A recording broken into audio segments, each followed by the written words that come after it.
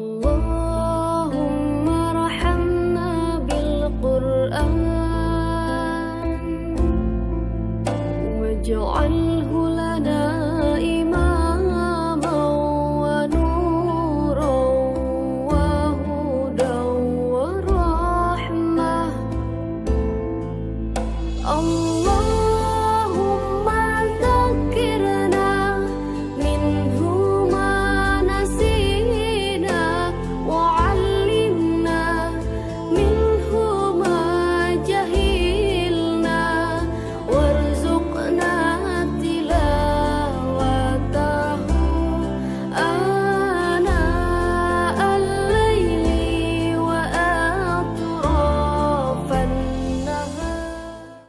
Assalamualaikum warahmatullahi wabarakatuh. Terima kasih kepada penyumbang wakaf Al-Quran yang diuruskan oleh Yayasan Warisan Ummah Ikhlas